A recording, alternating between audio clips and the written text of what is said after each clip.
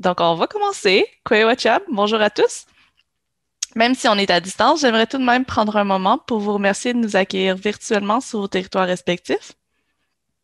Merci surtout d'être présent avec nous aujourd'hui pour le deuxième webinaire d'une série de trois sur la planification de la conservation. Mon nom est Raphaël Piché, je suis chargée de projet en conservation à l'IDDPNQL. Donc, euh, le webinaire d'aujourd'hui s'inscrit dans le cadre du projet Conservation et protection de la nature. Donc, euh, merci au Service canadien de la faune encore aujourd'hui de participer. On est très chanceux d'avoir Benoît Jobin avec nous pour partager son expertise. Son expertise, pardon. Donc, euh, la structure du webinaire aujourd'hui sera un peu différente que la semaine passée pour ceux qui étaient là. Euh, on a un seul présentateur, mais puisque la présentation est beaucoup plus longue, on va faire une pause au milieu. Puis la session de questions, ça va être complètement à la fin. Donc, si vous avez des questions, vous pouvez les poser au fur et à mesure dans le chat, mais on va y répondre à la fin. Donc, on va aussi enregistrer ce webinaire euh, pour le mettre disponible par la suite. Puis, on est en train de construire une fiche synthèse qui va regrouper les liens puis les informations supplémentaires qui ont été vues dans le premier et le deuxième webinaire. Ça aussi, ça, va vous être envoyé prochainement. Donc, euh, on va se présenter le secteur conservation. Euh, il y a mes collègues Laurie et Christelle. Oui, ouais, à tout le monde. Laurie Leblanc, chargée de projet en conservation LDDPNQL. Je reconnais euh, la majorité des visages. Bon matin à tous. Oui, Wachia, oui. Christelle aussi, je suis chargée de projet en conservation aussi à l'IDDPNQL avec Laurie et Raphaël. Bon matin, merci d'être avec nous. Donc, euh, bienvenue à tous. Donc, pendant la présentation, il va y avoir des questions qui vont apparaître à l'écran. Donc, euh, au fur et à mesure, on va vous demander d'y répondre. Puis euh, c'est ça, je vais vous introduire notre présentateur d'aujourd'hui. Ceux qui étaient là la semaine passée, vous connaissez déjà. Donc, Benoît Jobin est biologiste spécialisé en évaluation et conservation des habitats, environnement et changement climatique Canada depuis plus de 25 ans. Ses travaux récents au sein du Service canadien de la faune portent sur l'évaluation de la dynamique des habitats et des paysages dans le sud du Québec, de même que sur le développement des plans de conservation d'habitats pour les oiseaux migrateurs et les espèces en péril. M. Jobin est le coordonnateur de l'équipe de travail qui a produit l'Atlas des territoires d'intérêt pour la conservation dans les basses terres du Saint-Laurent qu'on va voir aujourd'hui. Donc, Benoît, c'est à toi. Euh, ben, merci beaucoup. Merci à l'IDDPNQL pour euh, m'offrir cette, cette, plateforme pour présenter nos projets. Puis merci particulièrement à, Raphaël, à Laurie à Christelle, avec qui on a monté la planification des webinaires. Donc, ça me fait ça me fait vraiment plaisir d'être avec vous pour vous parler des projets d'Atlas euh, qu'on a, a rendus disponibles. Juste pour vous informer, moi, je suis à Lévis, à Québec, dans la région de Québec. Aujourd'hui, il pleut, mais il y a des quiscales, il y a des bernages du Canada qui se promènent dans le ciel. Euh, on voit que le printemps est à la porte. Donc, euh, malgré la pluie, on sent qu'il y a de l'espoir. Puis les oiseaux arrivent, mais moi, je suis un gars d'oiseaux. C'est le fun de, les voir passer devant ma fenêtre de Conchini. Donc, merci, merci pour l'invitation. Je vais partager mon écran pour vous présenter mon PowerPoint.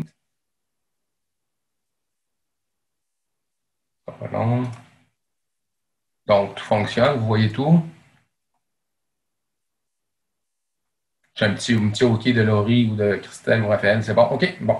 Ben, ben c'est ça. Aujourd'hui, je, vais vous présenter euh, une suite à ce qu'on a. La semaine dernière, ceux qui étaient présents, on parlait plus de la démarche de, de développer des plans de conservation, puis qu'est-ce que c'est qu'un plan de conservation les plans de conservation sont souvent axés sur de la connaissance sur euh, la localisation des territoires d'intérêt pour la conservation où on retrouve des, forêts intègres, des espèces en péril et autres. Euh, aujourd'hui, je vais vous parler de deux atlas qui ont été produits dans les dernières années qui nous permettent de guider nos actions de conservation euh, vers les territoires où il y a, un, besoin, vraiment un besoin de conservation des espèces et des milieux naturels. Donc, je vais faire une petite mise en contexte en, en partant pour vous présenter pourquoi on a fait ces atlas-là. Je vais faire un survol des deux atlas qui ont été produits, un pour les basses terres du Saint-Laurent, un pour les milieux côtiers de la du Golfe. Puis après, ben, on va prendre une pause.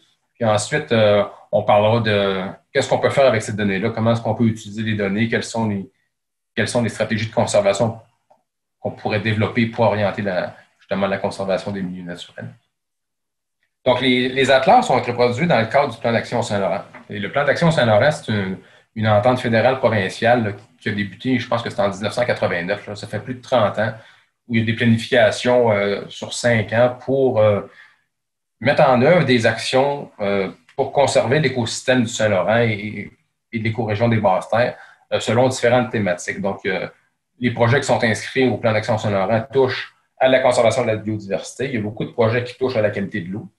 Et il y a des projets qui touchent à ce qu'on appelle la pérennité des usages, donc la navigation commerciale, la navigation de plaisance, l'accès aux plages et tout. Donc, il y a trois thématiques de base dans le plan d'action Saint-Laurent.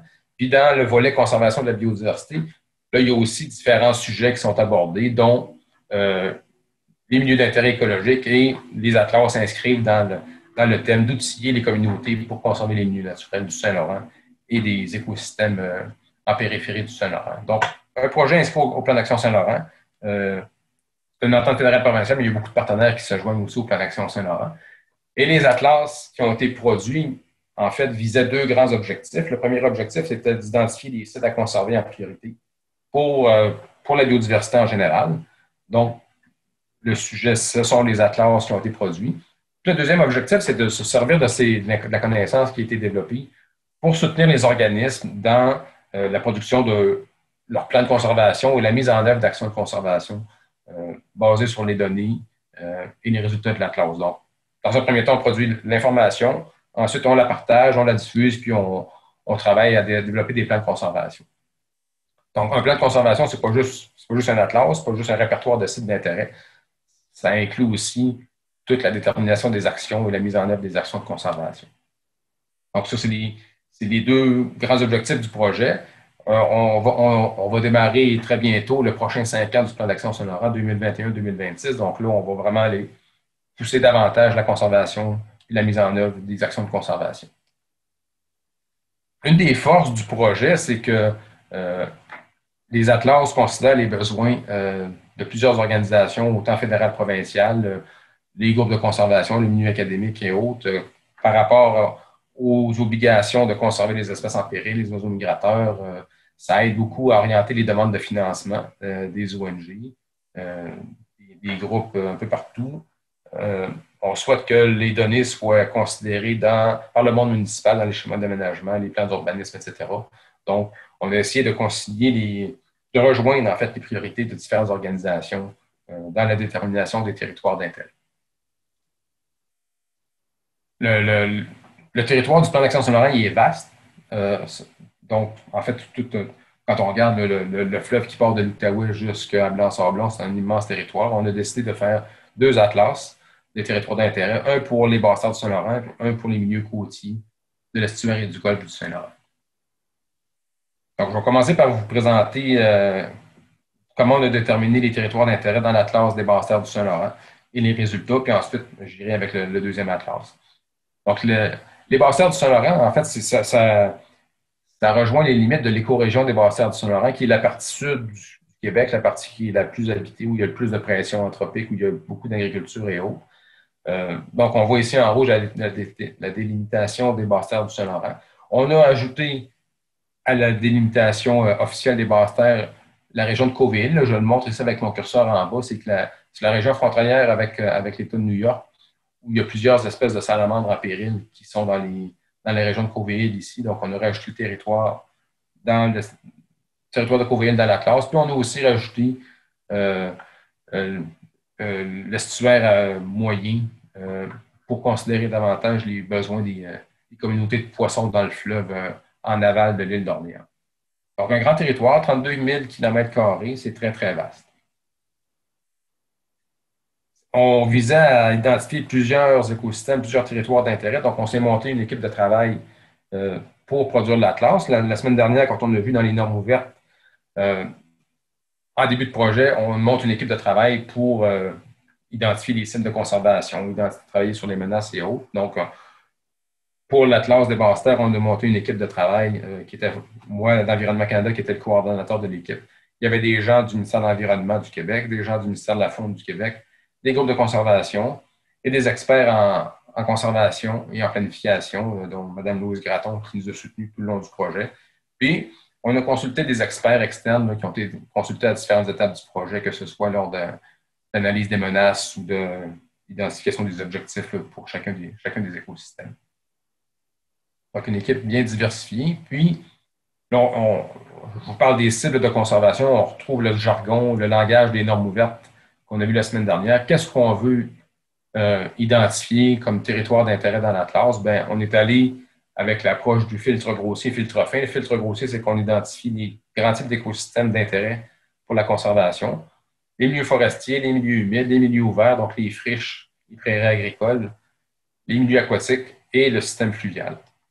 Et un des intérêts de l'Atlas, c'est que on dans nos réflexions, on a considéré les milieux ouverts, les milieux agricoles, les milieux aquatiques, dans, parmi les territoires d'intérêt pour la conservation. On avait fait en début de projet un survol des plans de conservation existants dans le sud du Québec. Puis la plupart des plans de conservation existants euh, visaient la conservation des milieux forestiers ou des milieux humides et très peu les autres, les autres écosystèmes. Donc, on, on a élargi davantage la, la variété, la diversité d'écosystèmes à considérer dans l'Atlas.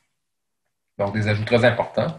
Et pour chacune des sites de conservation, pour chacun des écosystèmes, il y avait une personne responsable euh, de colliger l'information, d'identifier les, critères de priorisation, analyser les données, partager les résultats et euh, rédiger euh, les sections des rapports qui touchent à, chacun des écosystèmes. Donc, on avait un expert euh, associé à chacune des sites de conservation. Moi, j'étais responsable de l'analyse des milieux ouverts, les milieux agricoles, les friches, les cultures pérennes.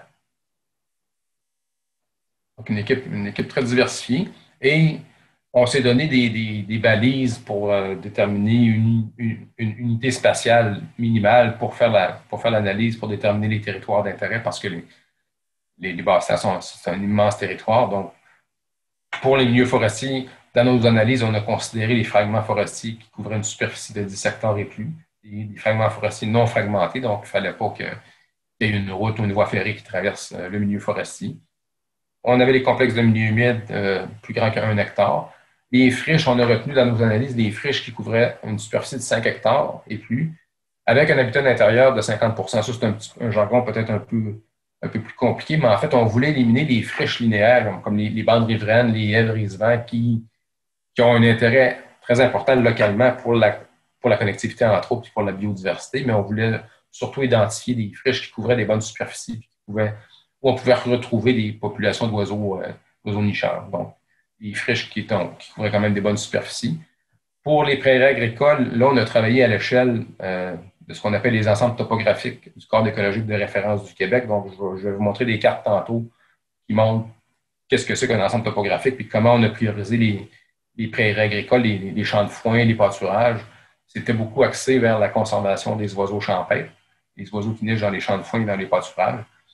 Et euh, on ne voulait pas aller identifier des champs comme tels, des, sites où l'agriculture se fait, où il y a une rotation des cultures aussi qui fait qu'un champ, une année, peut être en foin, puis trois ans après, va être en maïs on identifiait plus des matrices agricoles, des paysages qui étaient propices aux oiseaux champêtres. Et pour les milieux aquatiques, ben, notre, euh, notre unité d'analyse était les unités écologiques aquatiques. En fait, tout le, le réseau hydrographique du Québec a été euh, cartographié et classifié en différents types de cours d'eau. Et c'était nos unités d'analyse de base du, euh, le CRHQ, c'est le. J'ai un blanc de mémoire, c'est le réseau hydrographique du Québec. Donc, c'était nos, unités d'analyse pour la classe des basses terres. Et quelle était la source d'information pour euh, aller faire nos analyses? C'est que Environnement Canada, avec d'autres partenaires, on a produit une cartographie de l'occupation du sol des basses du Saint-Laurent en 2016. Une cartographie très, très détaillée qui est en format vectoriel, donc on peut aller jouer avec des, logiciels géomatiques puis faire nos propres analyses. Ce sont des polygones qui peuvent être téléchargés. Donc, on a une cartographie de l'ensemble des bassins du Saint-Laurent qui a été produite. C'est une cartographie qui est très, très détaillée. On, a différentes thématiques comme la, forêt, l'agriculture, les zones anthropiques, mais on a peut-être, je pense, 30-35 classes générales où on peut aller identifier le type de peuplement forestier, euh, le type de milieu humide, puis même on peut aller jusqu'aux attributs de base euh, qui sont extraits de la carte des cartes écoforestières ou des données de, cartographie des, détaillées des milieux humides. Donc, euh, une cartographie. Ça a été un énorme travail. Merci beaucoup à l'équipe euh, chez nous qui a produit cette carte-là, mais maintenant, cette carte-là, ça, sert de données de base pour, pour l'ensemble des analyses des, gens qui, font de la géomatique dans les basses terres du sol. Donc là, on a identifié quels écosystèmes qu'on voulait, sur lesquels on voulait travailler c'est quoi notre source d'information pour aller identifier nos territoires d'intérêt. Là, on s'est donné un objectif qu'est-ce qu'on veut déterminer euh, comme territoire d'intérêt. On ne peut pas identifier tous les milieux forestiers ni tous les milieux humides, même s'il y a peut-être une valeur de conservation associée à chacun.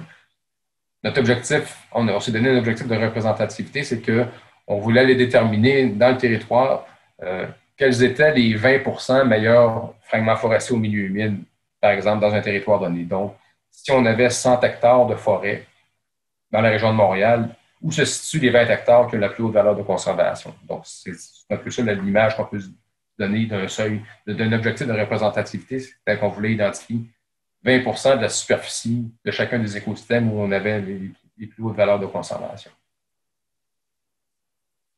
Et ce seuil, ce seuil de représentativité-là de 20% ben, on ne l'a pas appliqué uniformément à l'échelle des basses terres du Saint-Laurent parce que c'est un très, très grand territoire. Puis, on ne voulait pas comparer, par exemple, les forêts, les érablières de Chaudière-Appalaches avec les érablières de l'Outaouais ou de la Montérégie. Ce n'est pas le même contexte écologique, ce n'est pas les mêmes espèces. Donc, on a cartographié ou classifié les bassins du Saint-Laurent en ce qu'on appelle des contextes de mise en place régionaux. C'est une, classification des euh, découpages écologiques, du cadre écologique de référence du ministère de l'Environnement du Québec, où chacun des contextes euh, présente une homogénéité au niveau des types de sols ou des types de pentes ou des types de, substrats. Donc, pour un, contexte de mise en place donné, euh, même si les polygones ne sont pas contigus les uns aux autres, ben, c'est un peu le même contexte écologique. Donc, on a priorisé les forêts dans chacun des contextes écologiques pour justement euh, avoir une, meilleure diversité à l'échelle des basses terres. Puis ça, on, on, le fait pour les milieux humides, pour les milieux forestiers, les friches, et les milieux aquatiques. Et comment on a déterminé euh, les territoires d'intérêt à retenir pour atteindre notre objectif de 20% de représentativité? On, avait, on a séparé nos analyses en deux, comme deux grands blocs d'analyse pour euh, identifier les territoires d'intérêt. Le premier bloc d'analyse, c'est ce qu'on appelle une, analyse de sélection. Donc, on, on, utilisait l'analyse de sélection pour aller déterminer sur le territoire les sites qu'on jugeait incontournables, les sites qui ont vraiment une haute valeur de conservation, puis qu'on ne veut pas échapper, par exemple, dans une planification de la conservation. Donc, les sites où on avait une proximité ou une présence d'air protégé, autant public que privé, s'il y avait une présence d'écosystèmes forestiers exceptionnels, s'il y avait des espèces en péril qui étaient localisées dans ces milieux-là. Donc, on avait utilisé les données euh, du CDPNQ, les données de la base de données du provincial sur les espèces fauniques et floristiques en péril. On a retenu les habitats essentiels qui sont désignés pour les espèces en péril au fédéral. On a fait tout un traitement pour euh, bien aller cibler les, polygones d'habitats qui, comblaient les besoins de ces espèces-là. Puis on a fait aussi des analyses d'irremplaçabilité. Ça, c'est un volet aussi très, très technique, mais euh, on voulait aller identifier des, des, types forestiers qui étaient uniques à une région. Par exemple, une, une chaîne bleue du sud de la Montérégie. Ben, si c'était la seule fois, la seule chaîne bleue du sud de la Montérégie qui existait, même s'il n'y a pas d'espèce en péril, même s'il n'y a pas d'air protégé, ben, c'est un milieu qui est unique, qui était retenu dans, nos critères de sélection. Alors, on a appliqué nos critères de sélection pour déterminer nos incontournables.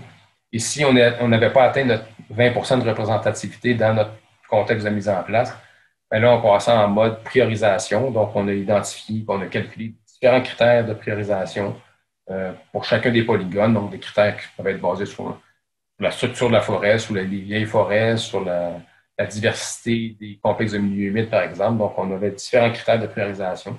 Puis, on est allé identifier les, euh, polygones d'habitat qui nous permettaient de combler notre, objectif de représentativité de 20% s'il n'avait pas été atteint lors de l'analyse de sélection. Donc, c'est une analyse complémentaire qui nous permettait de, de donner une valeur de conservation à chacun des polygones.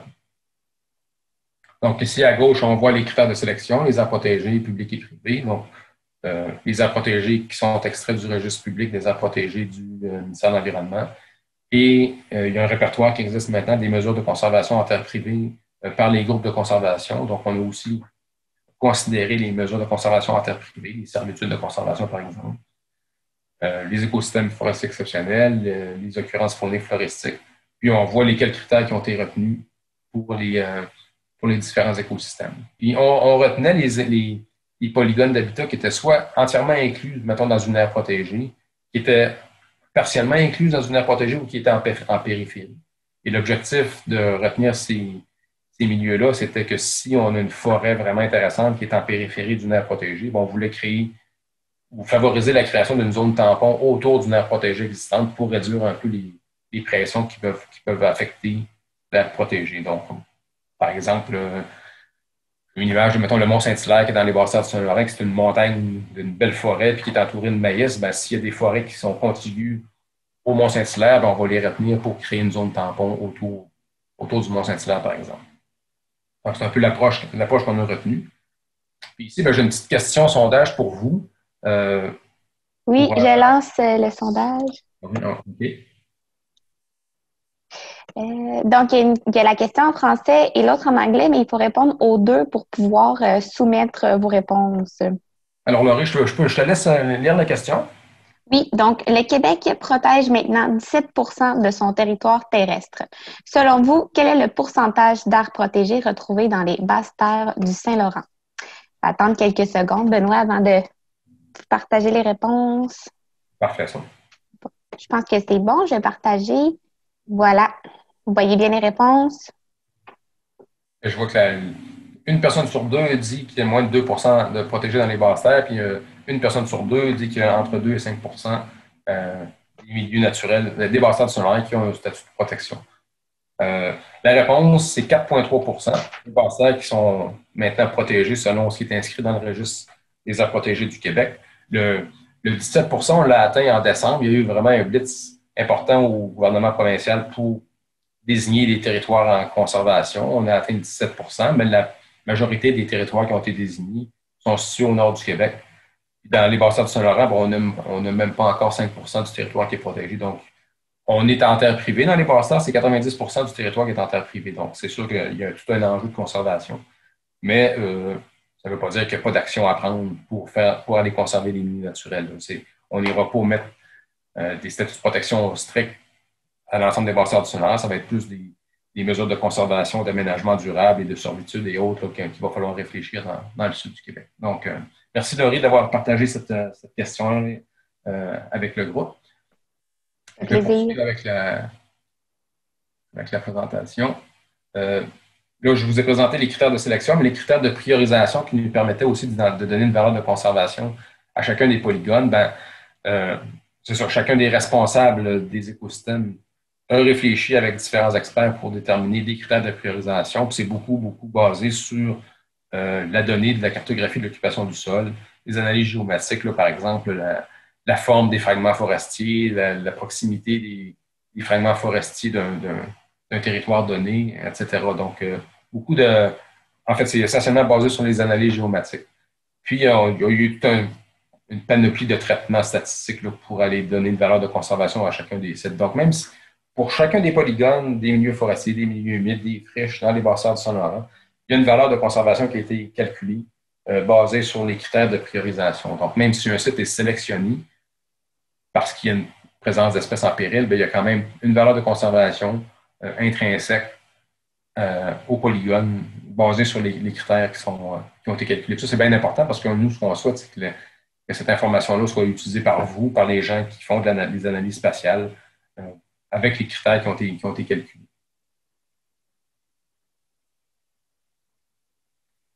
Donc, je vais faire un survol euh, des, résultats de l'Atlas. Ici, euh, je vous présente les, la répartition des fragments forestiers qui ont été retenus avec nos critères de sélection et de priorisation. Il y a plus de 6 000 fragments forestiers qui couvrent une superficie de plus de 10 hectares euh, dans les bassins du Saint-Laurent. Puis il y en a 25% des fragments forestiers qui ont une valeur de conservation parce qu'il y a une présence d'espèces en péril, proximité d'air protégée ou qui ont, ont des, sont des fragments forestiers intègres avec une haute valeur de conservation. Euh, beaucoup des fragments forestiers qu'on retrouve, qui sont retenus, sont dans la partie est des bassins du Saint-Laurent, la région de Mauricie, centre du Québec, je veux dire Appalaches. Euh, l'agriculture est moins intensive dans ces milieux-là. On, a encore des grands massifs forestiers présents, mais il y a quand même plusieurs fragments forestiers en Montérégie, quand on regarde dans le secteur de Saint-Amable, les Montérégiennes sortent évidemment très fortes, la, région de Cauvéil. Et dans l'Outaouais aussi, il y a beaucoup, beaucoup de fragments forestiers qui sont retenus comme d'intérêt pour la conservation. Pour les milieux humides, ben là, euh, encore là, euh, euh, il, y a 5, 5000 complexes de milieux humides qui ont été retenus d'intérêt pour la conservation. Beaucoup de ces milieux humides-là sont associés à des complexes de tourbières qu'on retrouve dans la région du centre du Québec, le secteur de Villeroy, la grande tourbière de la Clé Bleue dans la région d'Évis, tourbière de Grand-Mère de, de Shawinigan au nord de Trois-Rivières. Mais les milieux forestiers, les, milieux humides riverains du fleuve Saint-Laurent autour du lac Saint-Pierre sont très, très importants pour la conservation. Il y a plusieurs espèces de plantes en péril qui se retrouvent dans les, dans les marais de l'estuaire d'eau douce, euh, des espèces qu'on retrouve seulement ici au Québec. Euh, donc, euh, les marais de, la côte de Beaupré, de, la région de, de Lobinière, Saint-Augustin ont, été, ont sorti importants. Et on voit aussi que dans l'Outaouais, il y a beaucoup de milieux humides qui ont été retenus parce que c'est là qu'on retrouve euh, une, bonne une bonne diversité d'espèces en péril associées aux milieux humides, comme la rainette faugrillon, le petit blongio, la tortue mouchetée. Euh, donc, leur présence fait en sorte qu'il y a beaucoup, beaucoup de milieux humides d'intérêt dans l'Outaouais qui sont, retenus pour la conservation. Pour les friches, ben là, c'est une nouveauté dans une analyse des, friches d'intérêt à l'échelle des bassins du Saint-Laurent. Il n'y avait jamais eu d'analyse pour déterminer des friches d'intérêt. Les friches en soi, ont une valeur de conservation, mais souvent les gens voient les friches comme soit que c'est un milieu à cultiver, on, va, on aime mieux voir du blé d'Inde sur les friches, ou c'est un milieu à planter, on aime mieux voir des arbres sur la friche. C'est un, écosystème qui est dynamique, il y a une régénération naturelle des friches, mais il y a quand même une valeur de conservation associée aux friches. Puis on a fait euh, une analyse des friches d'intérêt dans, les basses terres. Donc, il y en a 200 qui ressortent comme, comme étant d'intérêt. Beaucoup de ces friches-là sont situées en périphérie des grands centres urbains comme Montréal, Gatineau, Trois-Rivières, euh, Québec. Euh, puis il y a beaucoup de ces friches-là qui sont justement à la périphérie du périmètre urbain. Puis souvent, c'est des friches qui vont être peut-être qui vont peut-être vouer à disparaître pour l'expansion urbaine. Souvent, il y a une transition entre un monde agricole puis un monde, un monde urbain. Donc, euh, il y a beaucoup de ces friches-là qu'on retrouve en périphérie des zones urbaines qui sont, qui sont à risque de disparaître puis qui, par exemple, dans la région de Montréal, il y a quand même beaucoup de sites euh, où il y a de la rainette faugrillon de l'Ouest, puis il faut quand même les considérer dans, nos planifications de conservation. Pour les milieux aquatiques, ben ici, on voit les tronçons de rivière qui ont été retenus euh, essentiellement en fonction de ce qu'on appelle la naturalité des cours d'eau, la, proportion de milieux naturels qu'on va retrouver en bordure, euh, dans la bande riveraine des cours d'eau et dans le bassin versant qui est en amont du tronçon de cours d'eau. Donc, ce sont les, deux principaux critères qui ont permis de, déterminer les, cours d'eau d'intérêt dans les basses terres. On voit ici que dans, au nord de Montréal, dans les, basses Laurentides et l'Anaudière, il, il, y a un trou blanc. on n'avait pas encore de cartographie euh, d'images LIDAR qui nous permettait de faire nos analyses. Donc, euh, quand on a sorti la version 2 de l'Atlas en juin 2019, ces analyses-là n'étaient pas complétées. Elles sont maintenant complétées, puis dans une prochaine version, euh, on va rendre disponible l'information avec avec les données euh, LIDAR pour l'ensemble des, des du Saint-Laurent. Là, ici, on voit une image des ensembles topographiques. C'est l'unité d'analyse qu'on a retenue pour euh, identifier les matrices agricoles qui sont euh, propices aux oiseaux champêtres, aux tortues des bois ou autres. Donc, notre analyse était, chacun des petits polygones, c'est un ensemble topographique, puis on a caractérisé les ensembles topographiques en fonction de l'importance de l'agriculture, de l'importance des cultures pérennes, des champs de foin, des pâturages à l'intérieur de chacun, chacun des ensembles topographiques. Donc, ça, nous a permis de déterminer dans les bassins du Saint-Laurent où se situent les matrices agricoles les plus intéressantes pour la conservation des oiseaux champêtres. Plusieurs oiseaux champêtres sont en déclin. On pense au goglu des prés, à la sournelle des prés, hirondelle rustique, droit sauterelle, bref, il y en a plusieurs.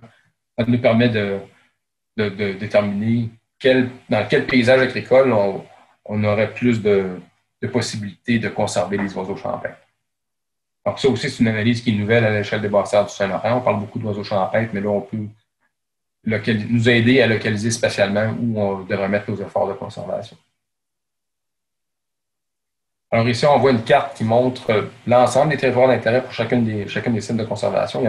C'est sûr que là, c'est une image cartographique, le, trait, le, dessin est beaucoup plus grossier, puis on dirait qu'en fait, il y, a, quand même beaucoup de territoires d'intérêt pour la conservation, mais on, va avoir accès aux données spatiales pour aller déterminer précisément sur le terrain où se situent ces, territoires d'intérêt-là. Donc, on a une image assez complète des territoires d'intérêt, puis on, a poussé notre analyse un petit peu plus loin où on, s'est dit, ben, c'est beau avoir des territoires d'intérêt un peu partout, mais est-ce qu'il y a des endroits dans les basses terres du Saint-Laurent où il y a une concentration de territoires d'intérêt? Est-ce que dans un secteur particulier, on pourrait avoir une friche d'intérêt qui est adjacente à un milieu forestier d'intérêt, qui est entremêlée avec une, tourbière d'intérêt?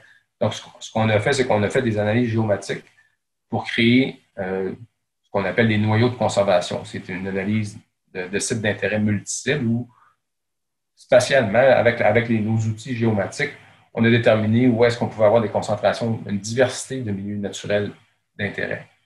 Et ça, ici, on, voit une image où euh, les polygones qui sont en rouge, ben, c'est dans dans le secteur d'un polygone rouge, il y a une forêt d'intérêt pour la conservation, il y a un milieu humide d'intérêt, il y a une friche d'intérêt et il y a un milieu, il y a un cours d'eau d'intérêt. Donc, si on avait peut-être à mettre des efforts pour euh, conserver la biodiversité de façon plus globale, on peut peut-être aller, aller cibler des noyaux d'intérêt où on a les quatre types d'écosystèmes qui sont présents. Présents. Il n'y en a pas beaucoup à Montérégie. Euh, mais bon, c'est pas parce qu'il y a un noyau multiple où il y a, seulement un milieu naturel d'intérêt qui sort que le noyau, il n'y a pas, il a pas, d'intérêt pour la conservation. C'est juste pour visualiser les endroits où il y a une, y a une bonne diversité de milieux naturels d'intérêt. Donc ça, ça fait le tour des cibles de conservation du filtre grossier, les grands types d'écosystèmes qui ont été qui ont été retenus dans les bassins du Saint-Laurent, mais il y a aussi d'autres éléments de la, biodiversité qui sont importants à considérer dans la planification de la conservation. Les, sites qu'on appelle du filtre fin, c'est souvent des éléments ponctuels qui ne sont pas considérés dans l'analyse des grands types d'écosystèmes. Donc, ces milieux-là, ces sites-là sont simplement illustrés comme étant des sites d'intérêt pour la conservation dans, dans la classe. Euh, des exemples, en fait, les éléments du filtre fin qui ont été retenus sont premièrement les alvars. Les alvars, c'est un, milieu naturel sec, c'est un milieu ouvert qui est très, très sec, qu'on retrouve essentiellement dans la région du Pontiac, en Outaouais un petit peu en Montérégie. Euh, c'est des endroits où il y, a, des affleurements rocheux calcaires, ça devient très, très sec en été. Il y a beaucoup d'espèces, plusieurs espèces de plantes en péril qu'on trouve dans les alvars. Donc, eux, on les a illustrés comme sites d'intérêt euh, pour la conservation. Les colonies d'oiseaux, il y a peut-être une douzaine de colonies d'oiseaux d'importance dans les bassins du Saint-Laurent qui sont le long du fleuve Saint-Laurent. Euh, par exemple, la colonie de la, de la Grande Île des c'est la plus grande aéronnière en Amérique du Nord. Donc, il y a vraiment un intérêt important pour la conserver. Euh, il y a des sites de nidification d'oiseaux, des sites ponctuels qui sont pas considérés dans les écosystèmes comme les, dortoirs de martinet ramoneur ou les, les, sablières où on retrouve des colonies d'hirondelles de rivage. Donc, des, des points, des données ponctuelles qui sont affichées dans l'Atlas. Il y a tout le volet frayère euh, qu'on retrouve dans le système fluvial et dans les grands tributaires euh, qui, ont été, aussi retenus dans l'Atlas. Puis il y a des données ponctuelles aussi sur les, occurrences floristiques d'importance. Donc, dans, dans l'Atlas, on fournit des cartes qui montrent euh, la répartition des. Là, je donne deux exemples des, sites de nidification d'oiseaux, de, de martinets, d'hirondelles de, de, rivage. On a des cartes de répartition aussi des frayères de surgeons. Donc, des données complémentaires aux données associées aux grands types d'écosystèmes. Donc, ça fait le tour de, la classe des du Saint-Laurent.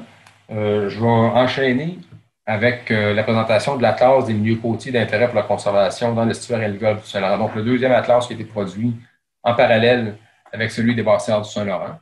Et le territoire Là, on tombe dans un immense territoire. On, part, de Cap-Tourmente, puis on s'en va jusqu'à Blanc-Sablon sur la rive nord, puis sur la rive sud, on, Kamouraska, la baie des Chaleurs, l'île d'Anticosti, c'est un immense territoire. On a restreint nos analyses au district écologique qui borde le milieu, euh, le milieu côtier. Donc, les polygones colorés ici montrent notre territoire d'étude pour l'Atlas. On n'a pas considéré les espèces aquatiques, les espèces marines euh, dans, nos analyses. Puis on a aussi exclu les îles de la Madeleine parce qu'aux îles de la Madeleine, il y a déjà beaucoup de travaux qui se font sur la conservation. Les gens savent où aller travailler. Les gens connaissent bien les menaces, euh, les pressions qui touchent aux écosystèmes. Donc, on n'a pas fait le travail pour les îles de la Madeleine. On, connaît déjà ce qu'il y a à faire. Donc, on a concentré nos efforts ailleurs dans, l'estuaire et, le golfe du Saint-Laurent.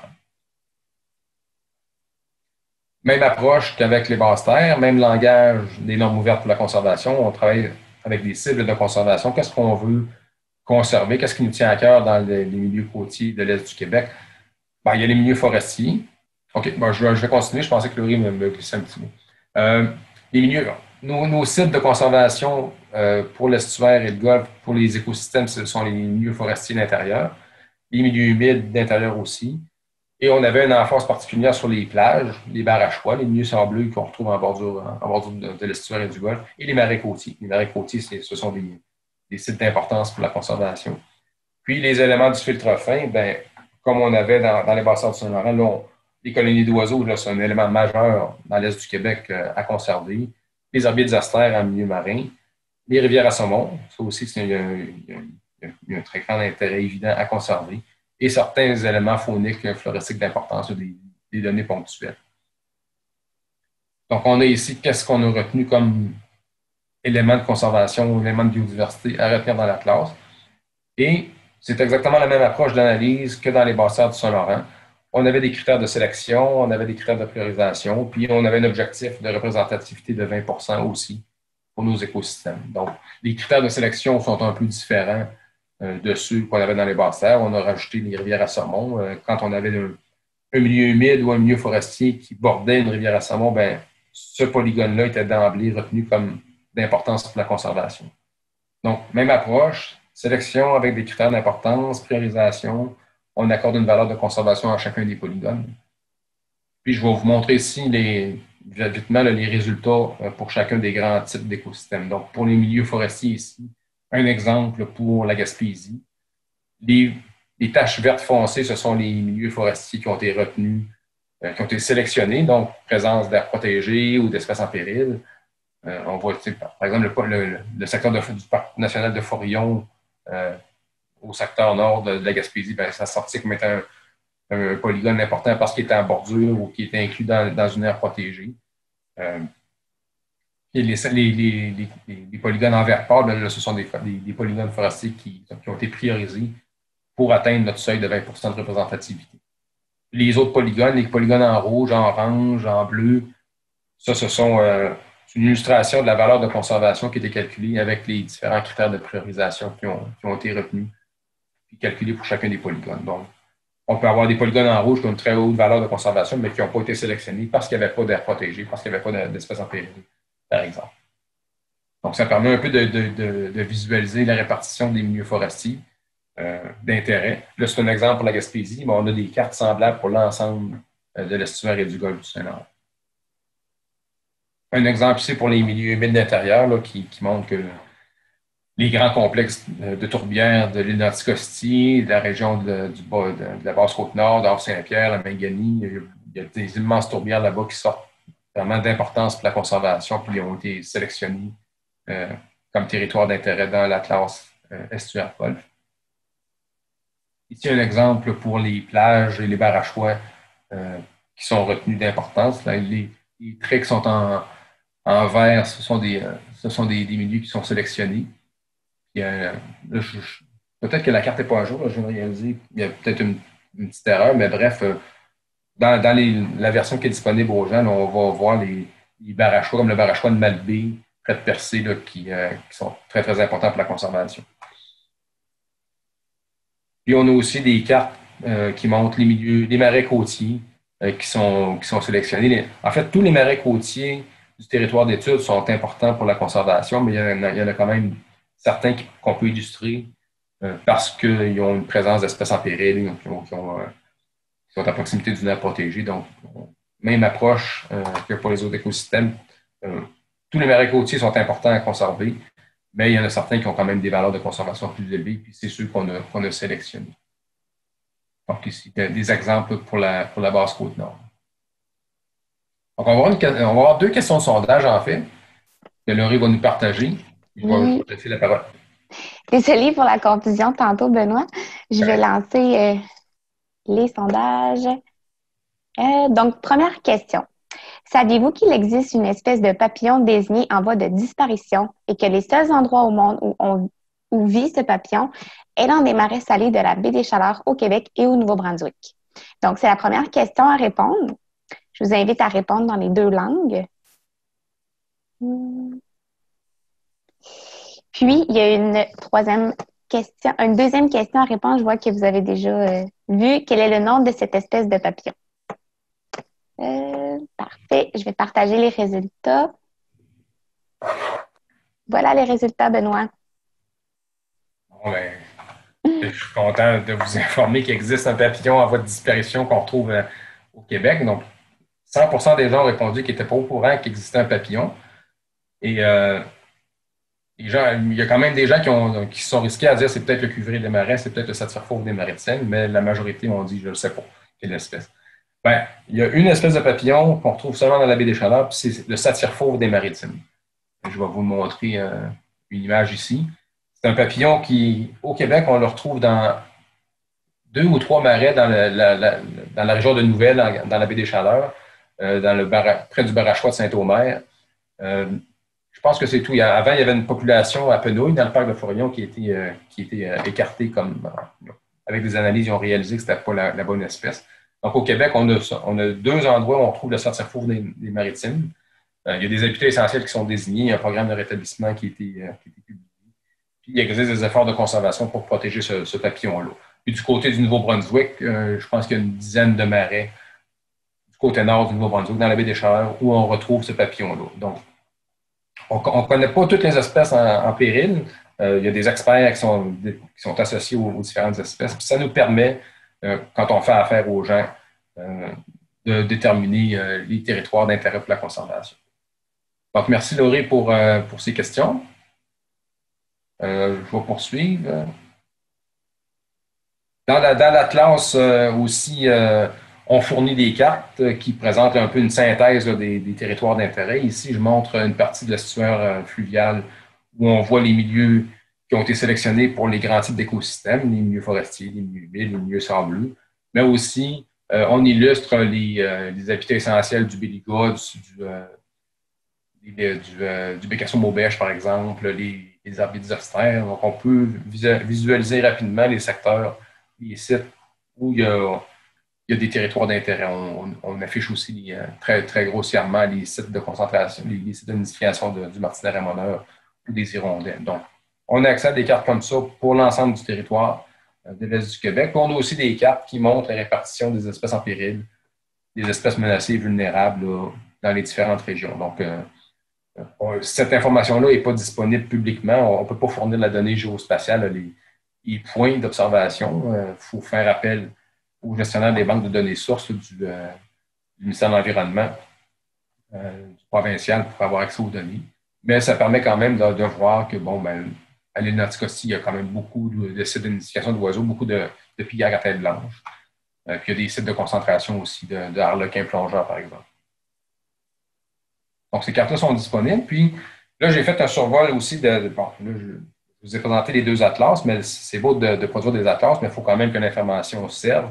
Il y a beaucoup d'informations qui est disponible aux gens. c'est une des forces du projet aussi, c'est que d'entrée de jeu, quand on a euh, mis en place les deux atlas, on s'est dit qu'il faut que l'information soit disponible, il faut que les gens puissent utiliser la donnée. Donc, on a des rapports qui ont été produits euh, l'an dernier, en 2019, euh, qui décrivent de façon très, très précise la source des données, des, analyses qui ont été faites, les résultats, les références, bref, des, rapports méthodologiques qui sont très, très détaillés pour chacun des atlas. Euh, puis il y a des annexes cartographiques aussi qui sont associées à ces documents-là. Et toute l'information pour chacun des atlas est disponible euh, sur le site Internet de l'Observatoire global du Saint-Laurent. En fait, c'est dans, le catalogue de données de l'Observatoire global du Saint-Laurent. Donc, si vous allez dans le catalogue de données puis vous faites une recherche euh, je pense que dans le moteur de recherche, vous rentrez le mot-clé Atlas, ben vous allez avoir, il y a, peut-être une dizaine d'Atlas dans le site de, l'OGSL. Ben, vous allez pouvoir cliquer sur Atlas des, territoires d'intérêt des basses terres. Puis là, vous allez avoir accès à toute une série d'informations, euh, dont le rapport méthodologique que je vous ai parlé, les données, les données géospatiales. si vous voulez avoir accès aux polygones des milieux forestiers d'intérêt, vous pouvez aller télécharger la donnée, les milieux humides d'intérêt. On a on a fait une série de webinaires aussi, il y a peut-être un an et demi, où on décrivait, pour chacun des sites de conservation, on décrivait le besoin de conservation des différents types d'écosystèmes, quelles données on a utilisées, quelles sont les analyses, quels sont les résultats. Donc, si vous êtes intéressé au milieu humide des bassins du Saint-Laurent, ben, vous pouvez aller visualiser le webinaire qui touchait au, milieu humide des bassins du Saint-Laurent. Donc, ça, c'est. Euh, les liens sont disponibles sur le, site Internet. Si les liens ne fonctionnent pas, dites-le moi, puis euh, l'OGSL a réorganisé un petit peu dernièrement son, site. Donc, si vous, avez, si vous avez un intérêt à les visiter, aller voir ces webinaires-là, ça ne fonctionne pas, ben, je m'organiserai pour, euh, pour que les liens soient corrigés. fait que sur, chacun des, sites des atlas, on a les rapports, on a les données, on a les métadonnées, on a des cartes et tout. Donc, c'est quand même très complet. Et parlant de données géospatiales disponibles, c'est qu'ici, je donne un exemple. Pour les friches d'intérêt dans les bassins, ben, pour chacune des friches, on a calculé toute une série de critères de priorisation. Euh, puis les critères de sélection, est-ce qu'il y a une présence d'espèces en péril, est-ce qu'il y a une présence euh, d'air protégé? Ben, ces fichiers-là sont tous disponibles, sont disponibles à vous, à tout le monde, euh, où on, peut aller, vous pouvez aller télécharger la donnée, puis après ça, ben, visualiser, puis faire vos propres analyses avec la donnée qui est disponible. Donc, tantôt, je, vous disais que ce n'est pas toutes les données de base qui sont disponibles sur le site de l'OGSL. Les données sur les aires protégées, sur les espèces en péril ne sont pas disponibles publiquement. Il faut quand même contacter les, gestionnaires de ces bases de données-là, mais le, résultat des analyses est disponible à tout le monde. Ça, c'est une des forces, du projet, c'est de, rendre la donnée disponible. Puis ici, par exemple, si je veux savoir pourquoi tel milieu forestier a été sélectionné dans la région de Drummondville, ben, je peux aller voir dans la base de données c'est parce qu'il y a une présence d'écosystèmes forestiers exceptionnels, c'est parce qu'il y a une présence d'espèces fauniques en péril, etc. Donc, on n'aura pas nécessairement l'espèce présente, mais on va savoir que dans ce, polygone-là, euh, il y a des espèces en péril fauniques ou floristiques, où il y a des écosystèmes forestiers exceptionnels, où il y a des aires protégées. Donc, euh, c'est très, très intéressant pour orienter la conservation. Puis, un autre outil qu'on a rendu disponible euh, juste avant Noël, c'est que les résultats des deux atlas, euh, il, y a un, outil de, cartographie interactive que vous pouvez utiliser sur le site de l'OGSL. Ça s'appelle Octo, OCTO. Le, lien Internet est en bas de l'image.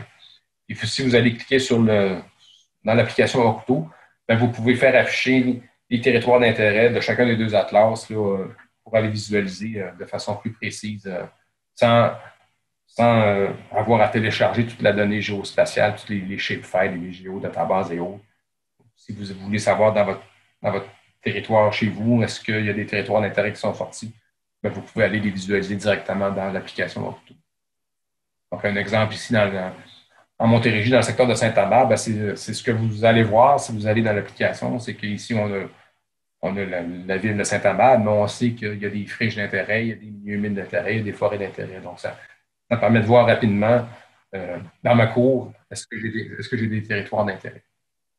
Donc, les données de la classe, sont, les résultats de la classe sont disponibles. Il y a beaucoup de données qui sont disponibles, mais tout en cours de projet, il y a beaucoup d'informations qui ont été produites, il y a beaucoup de, données qui ont été utilisées pour produire ces atlas-là. Puis ces données-là ben, sont aussi disponibles euh, au public pour que les gens puissent euh, euh, les utiliser selon leurs propres besoins. Donc, la cartographie de l'occupation du sol des bassins du Saint-Laurent est disponible autant sur le site de données ouvertes du gouvernement du Canada que pour euh, que sur le site de Données Québec. Puis la, carte de l'occupation du sol, vous pouvez aller la télécharger pour l'ensemble des terres ou par région administrative. Donc, c'est des immenses, des, immenses fichiers, sont très, très volumineux.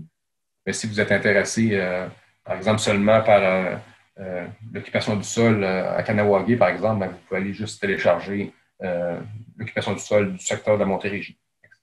C'est beaucoup moins volumineux pour vos propres analyses. Les contextes de mise en place aussi sont disponibles sur le site euh, du ministère de l'Environnement du Québec, tout comme le réseau hydrographique structuré. On a fait un répertoire des. Ben, en fait, le répertoire des aires protégées, euh, le, registre des, aires protégées du Québec est disponible sur le site aussi de, euh, de l'OGSL et du, MLCC. Puis le, répertoire des mesures de conservation, lui, est sur le mesures de conservation interprivées sur le site du réseau des milieux naturels. Et euh, en début de projet, on avait fait aussi un répertoire de tous les plans de conservation qui existaient euh, dans le sud du Québec. Puis ça aussi, sur le site de l'OGSL, vous pouvez avoir accès aux différents plans de conservation qui existent. C'est quoi les, écosystèmes qui ont été considérés, quels critères de priorisation ont été utilisés. Puis si le document est disponible en PDF, ben, vous pouvez aller le télécharger directement dans le répertoire des plans de conservation. Donc, différents outils qui nous ont servi à nous à produire les atlas, mais qui sont aussi disponibles à vous euh, pour vos propres intérêts puis vos propres besoins d'analyse aussi. Alors là, on est rendu à la pause. Je vais, dans une, dans une deuxième étape, je vais vous parler davantage de qu'est-ce qu'on peut faire avec ces données-là, que, comment, comment elles sont utilisées et de, à quoi ça peut servir. Donc là, je, je ne sais pas quelle heure il est, Laurie. Oui, et Benoît, il est 10h25. On est, on est, dans les temps? On est exactement dans les temps. Donc, on peut prendre un 10 minutes, puis retour à 10h35. Ça me va. Puis après ça, on prendra des questions. Parfait. Merci. On se voit dans 10 minutes. Merci.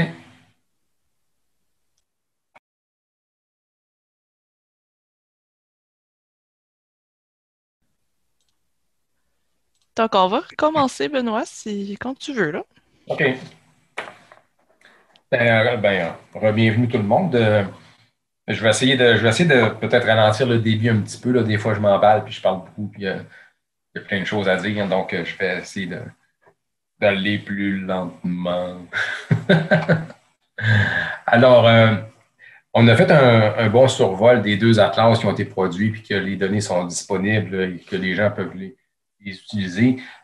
L'intérêt des atlas, c'est de fournir de soutenir l'information et de soutenir les organisations euh, orienter la conservation des milieux naturels. Donc, ce qu'on souhaite que la donnée serve, c'est que les gens puissent s'approprier la donnée et l'intégrer dans leur propre planification. Donc, on voit beaucoup un intérêt du côté du monde municipal où les gens peuvent intégrer l'information dans leur schéma d'aménagement ou dans les plans d'urbanisme. Actuellement, les MRC du Québec doivent produire des plans régionaux de milieux humides et hydriques euh, je vais en parler un petit peu tantôt. Ça aussi, c'est une donnée importante pour ces plans-là.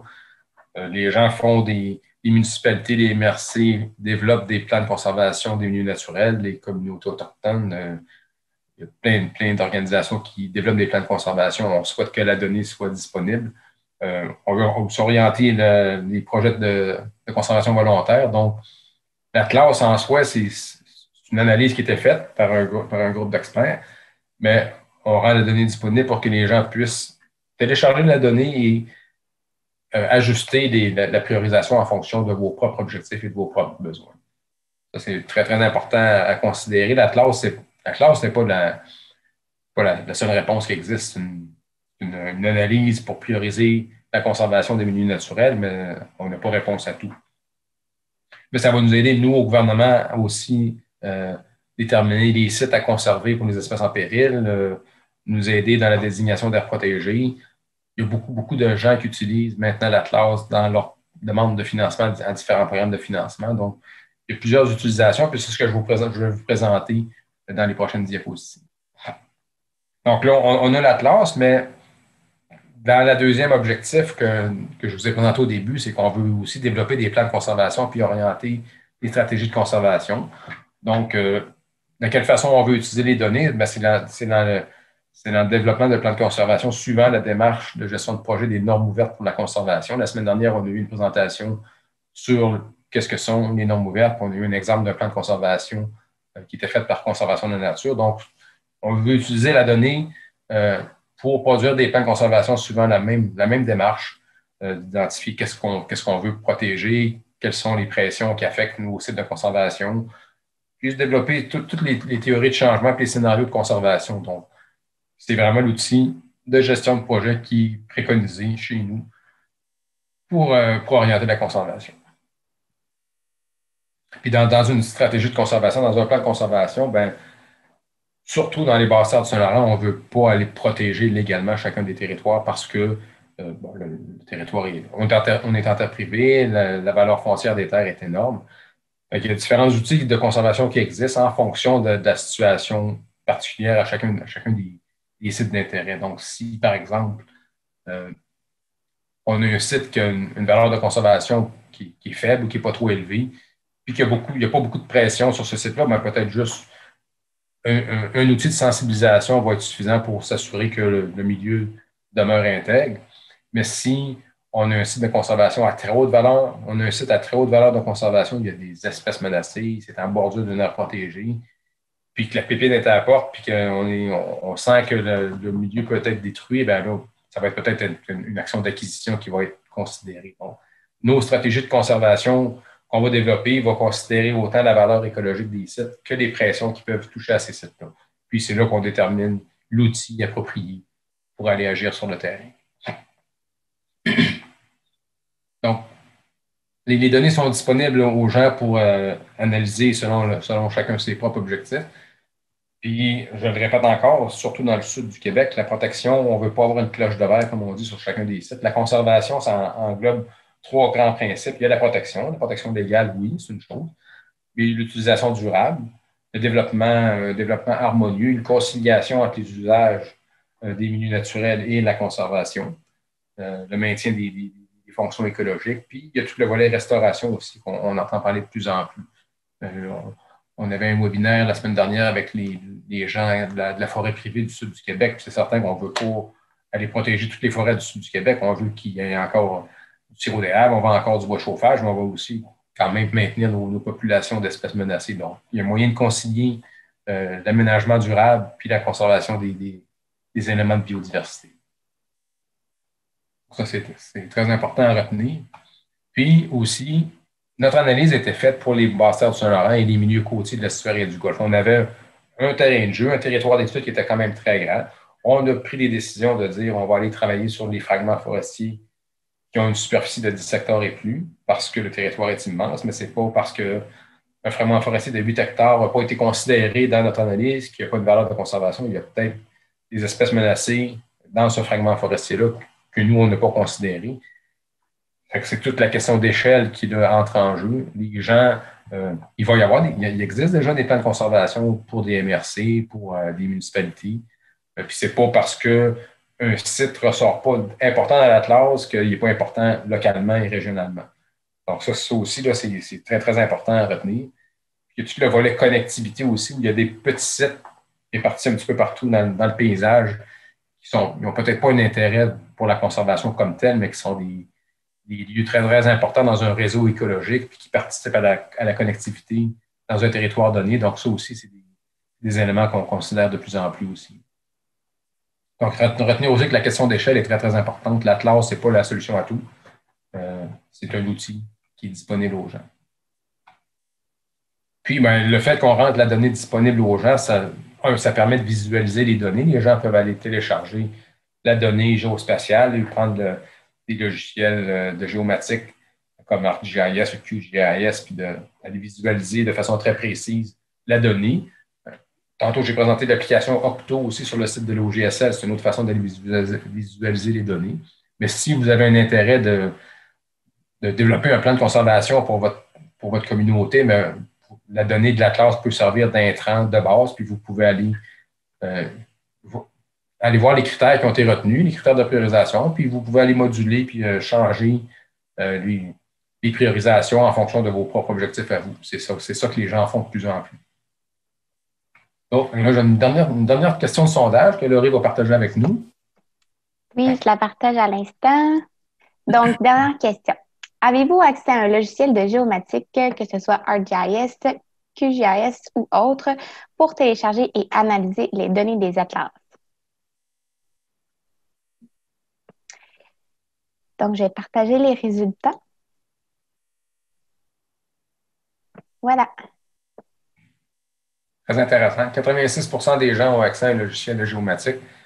Et, c'est tant mieux parce que, parce que bon, la, donnée existe, on, peut, on peut visualiser des cartes, on peut aller visualiser les données sur Octo, mais si les gens souhaitent approfondir davantage l'analyse et la planification de la conservation, ben, Maintenant, la géomatique, c'est un outil essentiel.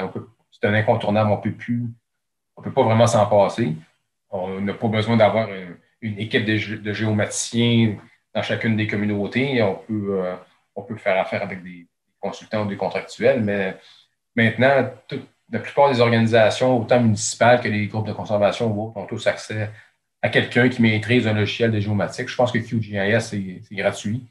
Donc, euh, il y a moyen d'avoir des formations, puis de, comprendre, puis d'utiliser la donnée pour aller télécharger les, données, les résultats de l'Atlas, puis après ça, ben, brasser les données selon vos propres besoins. Mais je vois que la très grande majorité des gens ont déjà accès à ces outils-là, fait c'est tant mieux.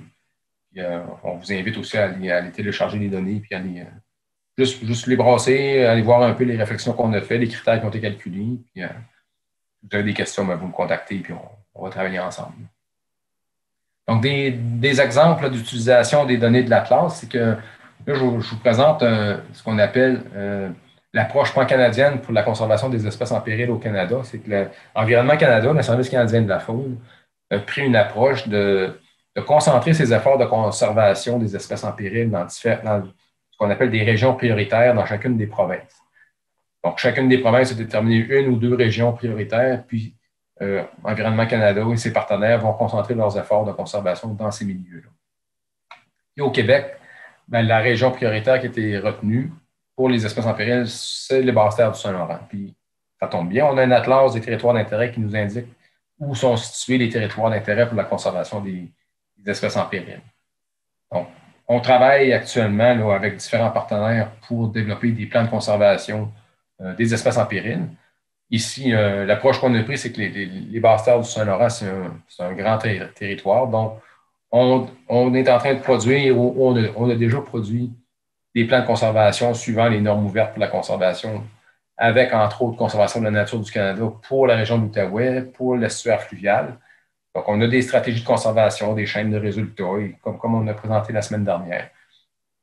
La même chose pour la région du centre du Québec. On travaille avec euh, le Conseil régional de l'environnement du centre du Québec là-bas pour déterminer les actions de conservation pour les noyaux de l'Atlas, les noyaux multicibles que je vous ai présentés tantôt. Puis, dans la communauté métropolitaine de Montréal, on a aussi un plan d'action euh, pour euh, les, habitats essentiels, essentiellement pour les habitats essentiels des espèces en péril dans la communauté métropolitaine de Montréal. Donc, là aussi, on a déterminé des actions de conservation pour ces milieux-là. Donc, ça, on a des plans d'action régionaux comme ça qui couvrent, une bonne partie du territoire. Puis on, travaille aussi avec, euh, avec le monde municipal, le monde de la, forêt privée pour identifier aussi des actions de conservation euh, pour les espèces en péril, mais pour l'ensemble, pour l'ensemble du, territoire. Pour le plus en, détail, le plan de conservation qu'on développe avec Conservation de la nature pour l'estuaire d'eau douce, c'est qu'eux, dans leur plan de conservation, ils ont, ils ont pris les données de la classe des basses terres, ils ont ils m'ont dit, ben, tel type d'écosystème, les milieux humides, par exemple, ça m'intéresse. Je vais aller retenir les critères de priorisation qui, rejoignent mes priorités de mon organisation et je vais faire une priorisation euh, plus ciblée en fonction de mes priorités à moi. Donc, CNC a pris les données de la classe, brasse les données à sa façon pour rejoindre ses propres priorités. Ils ont développé un plan de conservation sur lequel j'ai siégé sur le comité d'experts pour, euh, qu'on discute d'analyse de données des, des sites à prioriser et des, actions à prioriser. Donc, un exemple où la donnée a été utilisée très finement, on le voit aussi, euh, CNC le fait pour la péninsule de Manicouagan aussi, il y a des, projets pour prioriser les, territoires d'intérêt en se basant sur les données de l'Atlas. Euh, donc, ça, c'est très, très intéressant. Euh, un exemple aussi au niveau municipal, la ville de Drummondville aussi a développé un plan de conservation des milieux naturels sur son territoire. Ils ont basé leur analyse sur les données de l'Atlas. La même chose que ça a été fait avec Conservation de la nature ou avec d'autres. Ils ont retenu certains critères de priorisation, puis ils ont modulé l'analyse en fonction de leurs propres objectifs. Là, on parle d'une question d'échelle. Tantôt, on a, on a vu que l'analyse de l'Atlas, c'est à l'échelle des basses terres. Drummondville, c'est un petit territoire à l'échelle des basses terres. Donc, ils ont ajusté les, ils ont ajusté l'analyse des données de l'Atlas en fonction de leurs propres objectifs. Ils ont rajouté des critères de priorisation. Bref, ils ont utilisé la base de l'information, puis ils ont ajusté leurs analyses en fonction de leurs propres besoins. C'est exactement ce qu'on souhaite que les gens fassent, c'est qu'ils s'approprient la donnée et qu'ils l'utilisent pour leurs propres besoins. On le voit pour Drummondville, on le voit aussi à l'échelle des MRC. MRC de Drummond, MRC d'Arthabasca, euh, il y a des MRC du centre du, dire Appalaches aussi qui utilise la donnée de la classe pour produire des plans de conservation des milieux naturels. Euh, donc, ça, c'est très, très plaisant de voir que les gens utilisent l'outil qui a été développé et qu'ils déterminent leur propre plan de conservation avec, avec ces données-là. Euh, un petit mot sur les plans régionaux des milieux humides et hydriques. La, loi sur la conservation des milieux humides du Québec a été adoptée en 2017. Puis dans, cette loi-là, il y a une obligation à chacune des MRC de produire ce qu'on appelle un plan régional de milieux humides et hydriques, dans lequel ils doivent identifier euh, les milieux humides et les milieux hydriques, les cours d'eau, d'intérêt pour la conservation. Puis euh, ces PRMHH-là, comme on, appelle ça des PRMHH, euh, doivent être produits pour juin 2022. Donc, dans un an, ces documents-là doivent être produits.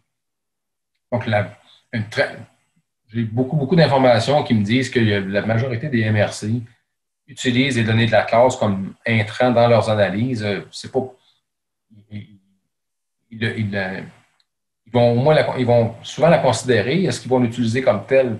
Ça dépend de, leurs besoins, puis de leur priorisation, puis de l'échelle spatiale aussi.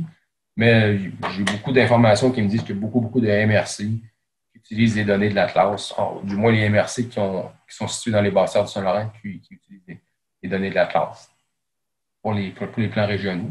Puis, il y a plusieurs MRC, plusieurs regroupements de MRC qui vont au-delà des exigences euh, du plan régional de milieu humide et hydrique. C'est qu'ils, oui, ils vont faire un plan de conservation pour les milieux humides et hydriques, mais ils vont aussi rajouter euh, les milieux forestiers, les friches, les milieux ouverts dans, leur, dans leurs analyses dans leur planification. Donc, ça, ça c'est un, gros pas en avant où il y a une obligation de faire un plan régional pour les milieux humides et hydriques, mais il y a certaines, certaines MRC qui vont au-delà de ça et qui disent ben, tant qu'à faire, pourquoi pas rajouter des milieux forestiers, pourquoi pas rajouter des friches? Là, on parle de plan régional de milieux humides et hydriques et naturels, les PRM, HHN. Ça, ça c'est vraiment, vraiment une belle avancée. Puis ces gens-là ben, utilisent beaucoup les données de l'Atlas des basses terres. Les données aussi sont utilisées à des fins académiques aussi. Il y a beaucoup de chercheurs euh, qui, utilisent, la, étant donné que la donnée géomatique est disponible, la donnée spatiale est disponible, ben, il y a beaucoup d'universités où ils ont des programmes en géomatique, en, foresterie, en biologie, en géographie, qui ont besoin de, données géomatiques dans, dans leurs exercices. Puis, euh, ça se fait à l'Université Laval, à l'Université du Québec en Ottawa, à l'Université de Sherbrooke. Il y a beaucoup de professeurs qui utilisent les données de la classe pour enseigner aux, étudiants de quelle façon euh, utiliser euh, les données géomatiques dans l'enseignement. Puis, ça donne des rapports comme ici, là, ou la, forêt de Joly, la forêt seigneuriale de Lobinière, ça s'appelle. C'est le plus gros fragment forestier naturel dans les basses du Saint-Laurent. Puis il y a eu une analyse plus fine pour aller caractériser à l'intérieur du fragment forestier ben, les zones d'intérêt des différents peuplements forestiers, des milieux humides d'intérêt aussi. Ça, ça, je crois que c'est un, des noyaux multiples à quatre, écosystèmes qu'on voyait tantôt. Ben, là, sont allés décortiquer davantage euh, pourquoi le, le, site est d'intérêt, puis d'aller orienter peut-être plus un plan de conservation à l'échelle d'un seul fragment forestier. Donc, ça aussi, c'est une, application concrète de l'Atlas. Et euh, il y a des travaux qui se font en parallèle à, la production de l'Atlas au niveau de la connectivité écologique. Euh, c'est beau de, déterminer des territoires d'intérêt, de mettre en place des aires protégées, mais pour que ces milieux-là soient maintiennent les populations fauniques et floristiques, ben, ça prend un réseau écologique fonctionnel, ça prend une connectivité qui permet le déplacement de la faune entre les différents, milieux naturels. Donc, les, gens de l'Université McGill ont produit des cartes, euh, des réseaux de connectivité à partir de la cartographie de, l'occupation du sol des basses terres pour identifier où se situent les grands corridors dans le sud du Québec. Puis, il y a une analyse qui se fait actuellement pour superposer les données de la classe des basses terres avec le réseau écologique qui a été développé pour euh, identifier ben, s'il y a peut-être un milieu forestier qui, sort, est très, très important pour euh, la conservation de la biodiversité et pour la connectivité. Donc, ce milieu-là, il y a vraiment un, très grand intérêt pour la conservation. Puis, d'un autre côté, il y a peut-être des milieux forestiers qui vont être très, très importants pour la connectivité, mais qui n'auront pas été retenus dans la classe. Donc, il y a une valeur de conservation ajoutée. Puis ça, ben, dans une, on, va, on, va, mettre à jour la classe. Il y a, un projet de, de bonifier la classe actuelle. Fait qu'on va rajouter toutes les, considérations de connectivité dans, les prochaines années. Puis, de, plus en plus, ben, ce qu'on voit, c'est que les gens qui font des demandes de financement à différents programmes de financement, ben, ils disent Oui, ben, moi, j'ai un projet de, conservation dans ma cour, dans mon territoire. Euh, puis je vais appliquer euh, au PIH, je vais appliquer au Fonds autochtone pour les espèces en péril, la Fondation de la Faune. Puis souvent, ben, dans, les, dans les demandes de financement, ben, ah, ben, by the way, euh, c'est un site d'intérêt de la classe des basses terres, puis il y, a des gens qui ont déterminé que c'était vraiment important à conserver. Donc, ça sert aussi beaucoup d'argumentaire pour les différentes demandes de financement qui sont proposées par, les groupes. ça, aussi, c'est un, des objectifs qu'on avait quand on a produit les atlas, puis on voit que c'est utilisé pour ça aussi. Donc, ça aussi, c'est vraiment bien. Puis, ben, la, méthode qui a été développée dans la classe des basses ben, elle est exportable aussi, mais ça, c'est toujours fonction des données qui sont disponibles. On a, développé la méthode dans les basses terres avec une donnée cartographique très, très précise. Mais on a appliqué la recette pour les milieux côtiers de l'estuaire et du Golfe. On n'avait pas du tout le même niveau de précision euh, de l'occupation du sol et de la, répartition des écosystèmes. On a, on a, pris la donnée qui existait, puis on a ajusté l'analyse en fonction de la donnée euh, qu'on avait sous la main. Euh, on sait que ça s'est fait dans, dans la région du centre du Québec, où il y a une portion de la région administrative du centre du Québec qui se situe dans les Appalaches. On n'avait pas de cartographie de l'occupation du sol des Appalaches, précise comme pour les basses terres, mais les gens ont modulé, ont modifié un peu leur analyse pour, pour la, portion Appalache. Euh, Conservation de la nature est, en train de finaliser un, atlas des territoires d'intérêt pour les Laurentines méridionales. Donc, un peu la même recette qui était appliquée pour les basses terres, appliquée à l'ensemble, euh, à l'ensemble de la province naturelle des Laurentines méridionales. Donc, c'est un très, très grand territoire.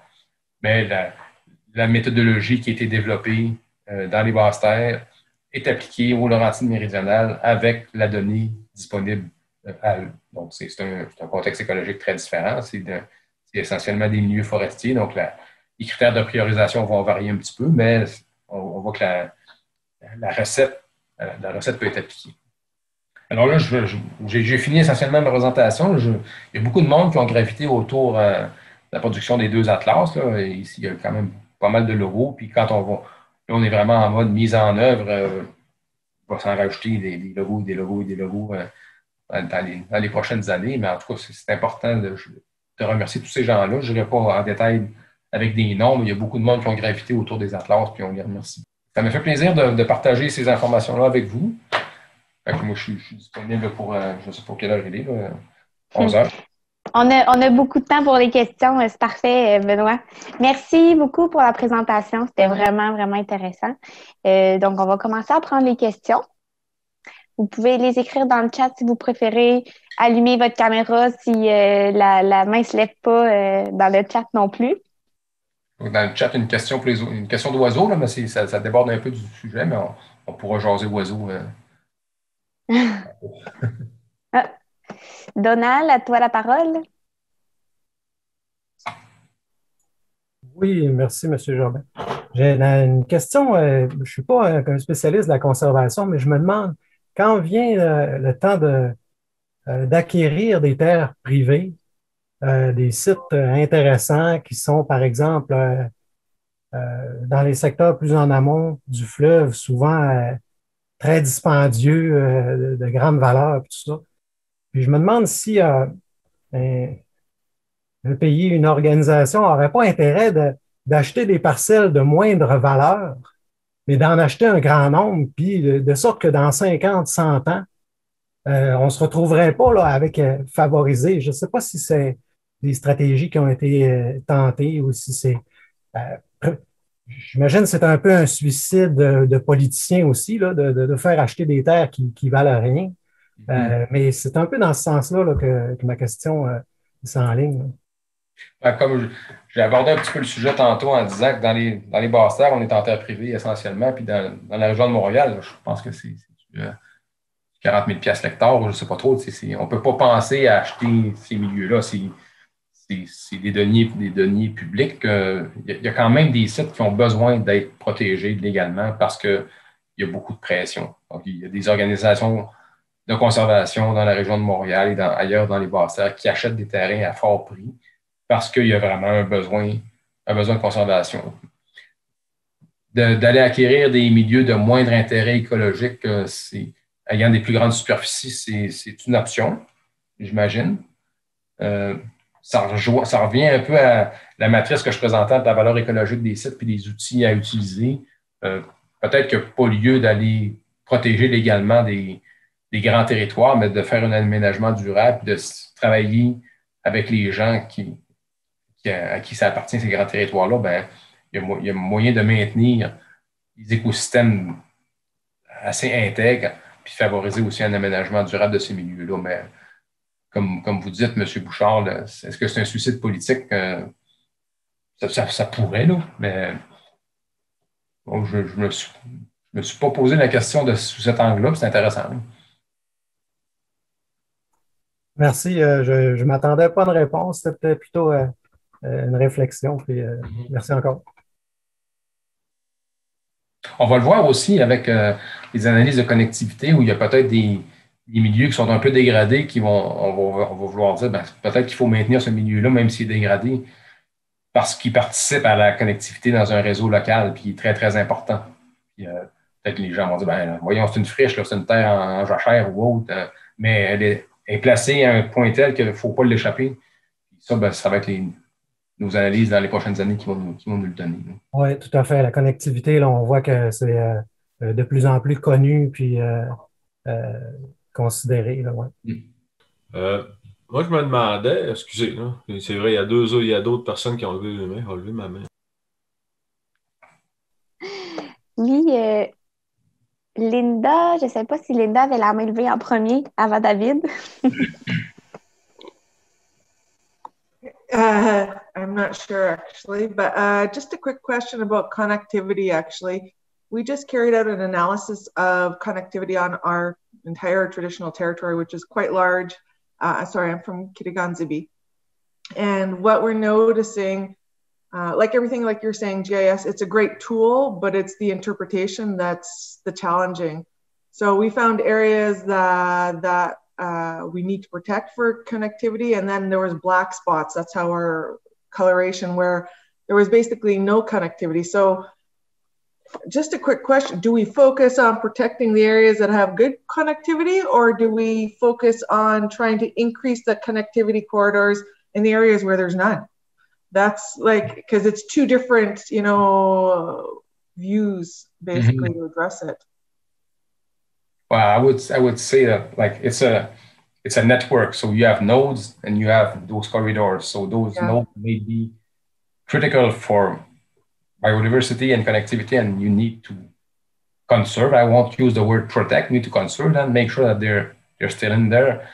And if there's gaps between the the nodes and the corridor where the connectivity is not good, let's say, then we're talking about restoration probably, or that just letting the nature grow and uh, the, the, the, the, succession go. But the restoration is more and more, will be more and more important in coming years, especially in, in the lowlands where there's cornfields in between uh, natural areas. So uh, is the node, is the forest more important than the corridor?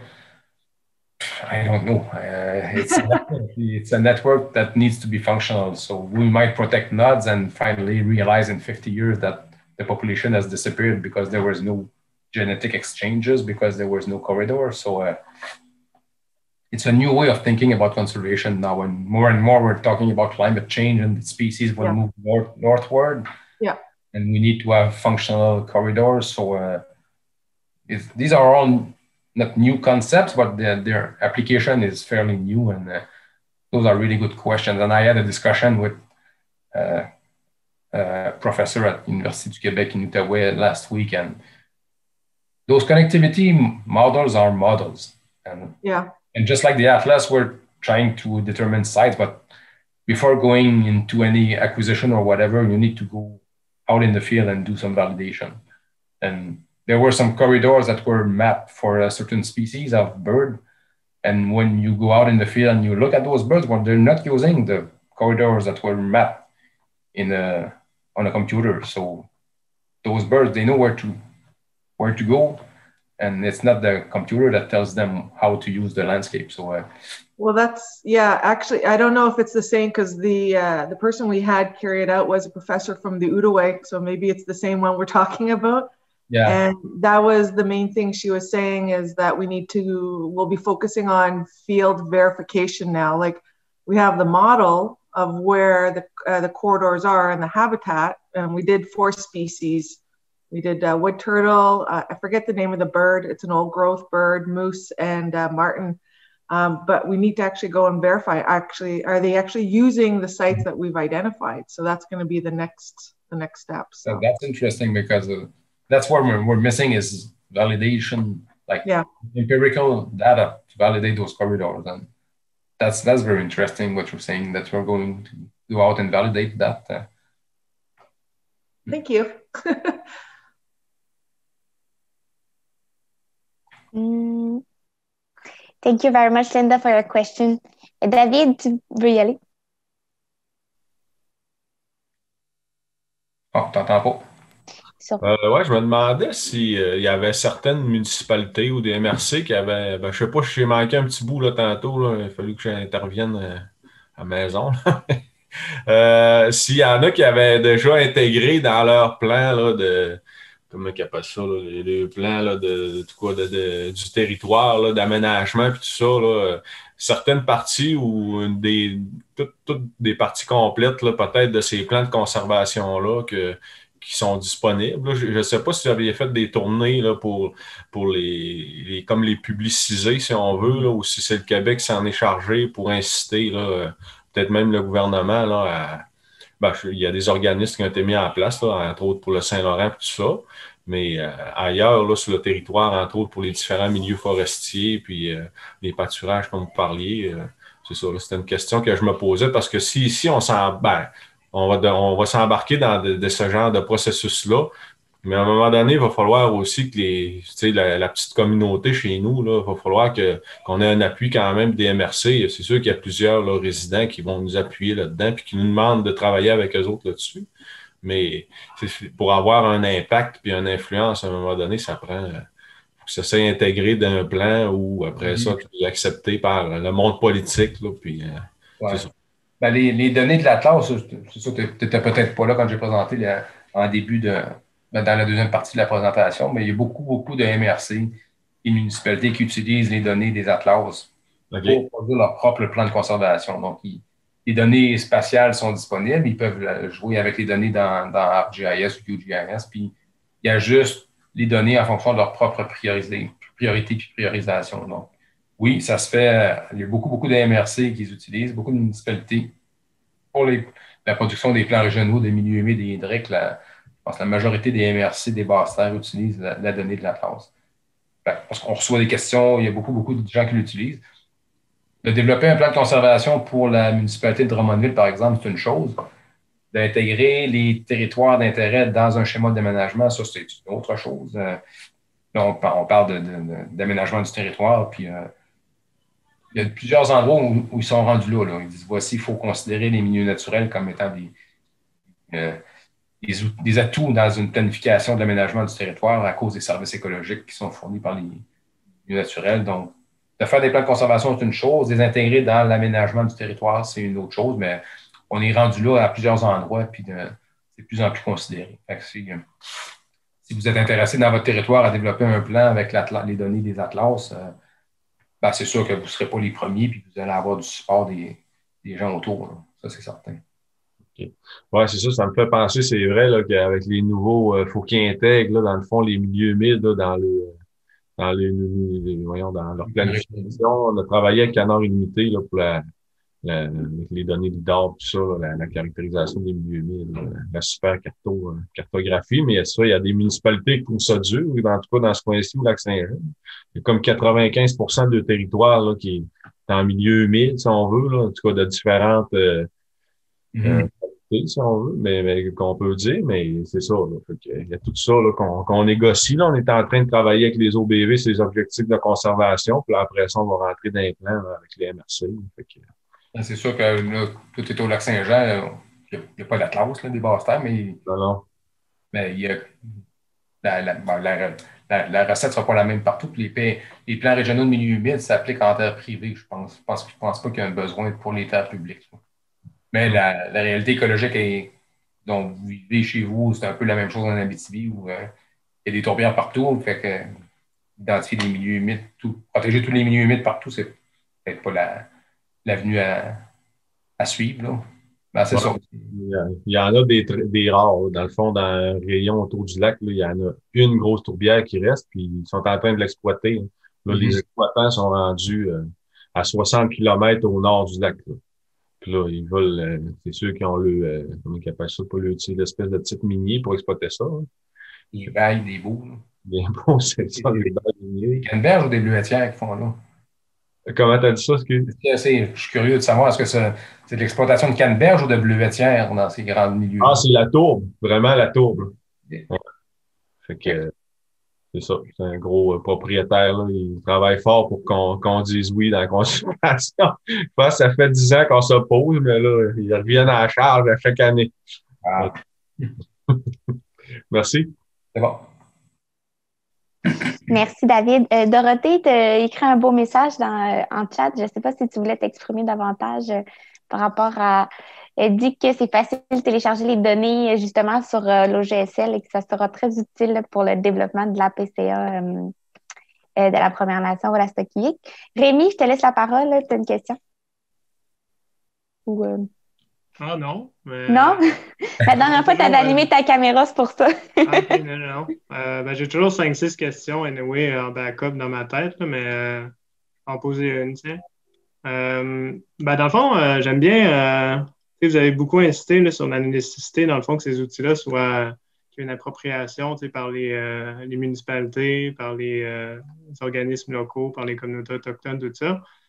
moi, je vois quand même un gap entre avoir ces données-là, euh, se poser les bonnes questions sur comment on peut les utiliser, aller chercher les données euh, qu'il y a sur la plateforme, puis ensuite, c'est de faire les tests nécessaires, que ce soit au niveau de la, euh, priorisation, sélection des critères, tout ça. dans le fond, d'un point de vue plus pratico-pratique, c'est quoi les, les supports qui pourraient être fournis pour, pour pouvoir, dans le fond, bien cadrer ces, ces réflexions-là, ces tests-là? Est-ce qu'il y a des communautés de pratique euh, MRC, entre les municipalités ou les MRC, entre les communautés autochtones? Ben, il n'y en a pas euh, chez les communautés. Là, mais... Ben, je sais que pour, les, euh, pour les, PRMHH, les plans, les plans de milieu humide hydrique, actuellement, ben, chacune des MRC a une, obligation de le faire. Puis, dans la région du centre du Québec, en Chaudière-Appalaches, toutes les MRC sont regroupées ensemble pour produire un seul plan pour mettre en commun leurs leur connaissances, leurs expertises. Euh, donc, en, je veux dire, appalaches je pense que c'est 8 ou 9 MRC qui travaillent ensemble à développer le plan. Fait que là, il y a tout, comme une communauté régionale. En Estrie, c'est la même chose. Il y a 5 ou 6 MRC qui travaillent ensemble à développer leur plan. Donc, il y a une réflexion régionale qui descend à l'échelle des MRC aussi. Là, ben là, ils, partagent, ils vont partager leur bon coup, puis ils vont ajuster leur priorisation en fonction de chacune des MRC. Pour ce qui est de la planification de la conservation comme telle, ben, il y a, euh, j'ai glissé un petit peu des mots sur les normes ouvertes pour la conservation, mais il y a tout, un réseau d'experts en planification de la conservation qui est en train de se mettre en place où les gens utilisent l'information sur les territoires d'intérêt puis ils développent des, plans de conservation des stratégies de conservation. Puis ça, ben, ça, c'est une vraie communauté de pratique où les gens partagent l'information, partagent les bons coups, il y a partage des fichiers et tout. Donc, ça, ça, c'en est, un, est un bon exemple aussi. C'est bon, merci. Benoît, le comité de pratique que tu es en train de mentionner, est-ce que tu as plus de détails par rapport au, réseau d'experts qui se développe? Est-ce qu'il y, a un site ou je ne sais pas, ou un nom? Euh? Ben, c'est euh, sur le site des normes ouvertes. C'est il, y a, un onglet où les, ceux qui sont formés comme, coach en, en normes ouvertes pour enseigner les normes ouvertes, ben, au Québec, on n'est pas très nombreux, là, mais la semaine dernière, il y a moi et Catherine qu'on a, a présenté le, volet. Puis sur le site des, des Open Standards, il y a moyen d'aller euh, aller voir l'ensemble des coachs qui sont formés euh, partout, partout, partout, dans le monde, en fait. Là. Il y a un onglet pour le, pour le, pour le Canada et le Québec, me semble. Parfait, merci. Justement, on pourrait l'inclure. Euh, on, est en train de vous préparer un plan avec euh, tous les, sites web, les données où accéder aux données de la classe et autres informations pertinentes pour la planification de la conservation. Puis on pourrait inclure peut-être ce lien-là euh, vers euh, le réseau d'experts pour vous aider. Est-ce qu'on aurait d'autres questions, commentaires, expériences? Entre moi, je suis là, je suis vous allez avoir mon courriel. Si vous avez des questions, euh, vous m'écrivez, vous m'appelez. Euh, si vous téléchargez les données et ça ne marche pas, ben, on va s'organiser pour que ça marche. Euh. Super. Donald, tu peux y aller? Oui, encore moi. C'est juste que votre présentation m'a fait penser, là, la garde côtière canadienne pour ses interventions environnementales, en cas d'un déversement, par exemple, de pétrole d'un navire. eux, ils, ont, ils, ont, souvent, une de leurs stratégies, c'est par par exemple, prendre une masse de pétrole puis la confiner euh, dans une baie, ils vont appeler ça une baie euh, sacrificielle. Euh, puis, ils nous ont demandé déjà d'identifier, nous, des secteurs d'importance qui, par exemple, ne, devraient pas devenir ce genre de baie-là. puis je me demandais si la garde côtière, par exemple, sont, sont au courant de, de cet atlas-là. On a fait tellement d'efforts pour essayer de rejoindre tout le monde qui pouvait utiliser ça potentiellement. je vais le noter, ça, parce que ça, le concept de baie sacrificielle, c'est comme si tu dis on met tous nos déchets là, puis on remet la masse de pétrole là, puis on sacrifie cette baie-là. C'est ça le concept, j'en comprends. C'est ben, pour la confiner euh, en, vue de, le nettoyer. Là. Mhm. Euh, c'est une stratégie, évidemment, on ne souhaite pas que ça arrive, mais euh, c'est un sacrifice délibérément. C'est pas qu'on va sacrifier la baie pour la laisser absorber puis la laisser comme telle, mais c'est vraiment qu'on va confiner la nappe, puis on va procéder au nettoyage dans cet endroit-là. Je pense que ce serait bien qu'il soit au courant là, de, de, de, tous ces, euh, ces endroits-là qui sont peut-être euh, euh, plus délicats. Là, puis, c'est un bon point. Je vais, je regarder si, si, on les avait déjà contactés. Au, niveau provincial, le ministère de l'Environnement a un groupe de travail aussi qui s'appelle oh la gestion des déversements, la gestion des accidents maritimes, je pense. Je ne me souviens plus trop comment, ça s'appelle, mais eux, ils intègrent les données de la classe des milieux côtiers et du fleuve dans, leur réflexion.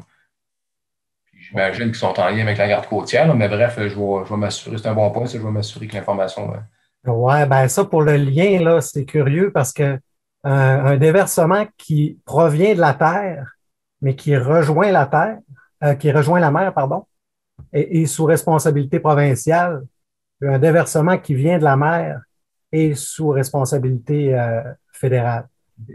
souvent, ils, vont réussir à collaborer un et l'autre mais en tout cas, il reste que les principes de responsabilité sont là, puis mm-hmm. qui mènent la chaîne de communication entre les deux aussi, là, qui n'est pas souvent mise à l'épreuve non plus. OK, OK.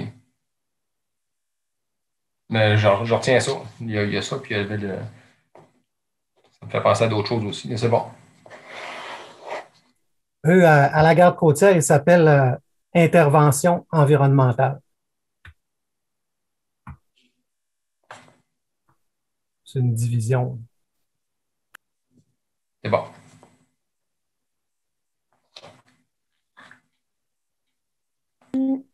Merci Donald pour ton intervention. On a une question d'une collègue de l'IDD. Donc, pour une prochaine version de l'Atlas, pensez-vous intégrer des données sur les paysages d'intérêt en vue de leur conservation? C'est un élément qui a été abordé dans un épisode de la semaine verte. Maïté, je ne sais pas si tu veux apporter des, euh, précisions. définition de paysage, là, euh, il y en a tellement. Euh, c'est vrai, Maïté est dans le canal en anglais. Hein, OK, bon. Ben, je, vais, essayer de répondre. C'est sûr qu'on dans les mises à jour de la classe, on va intégrer le plus d'informations pertinentes, dont la connectivité, les, les nouvelles espèces en péril. on a fait des exercices de validation aussi des sites d'intérêt de l'Atlas, l'estuaire Golf l'année dernière. L'année dernière, on a fait des, on a fait euh, des, ateliers régionaux dans l'Est du Québec. On a invité les communautés autochtones à participer pour discuter de, des atlas, de l'Atlas qu'on avait fait. Donc, toute information pertinente, euh, on va la considérer dans une mise à jour des, de l'Atlas. Puis la notion de paysage, euh, on l'aborde un peu avec les oiseaux champêtres parce qu'on travaille à l'échelle de matrice agricole et de paysage. Il y a la notion de paysage humanisé, qu'on entend parler aussi au ministère de l'Environnement, qui est un statut de conservation qui c'est plus une conciliation des usages du territoire avec le maintien des éléments naturels. C'est des outils. Ça, c'est un, outil de paysage humanisé. Euh, est-ce qu'on parle de paysage euh, visuel qui n'a pas d'intérêt pour la biodiversité, qui peut-être pas axé vers la conservation de la biodiversité? Ça, c'est un, autre, élément peut-être à considérer. mais nous, les atlas, c'était pour le maintien de la biodiversité. Euh, mais il y a peut-être des, besoins de conservation pour les, paysages visuels aussi. L'équipe à Gérald Daumont à Montréal, il y a beaucoup de monde qui travaille sur la notion de paysage comme tel. Ce n'est pas, un monde que, je maîtrise, par exemple.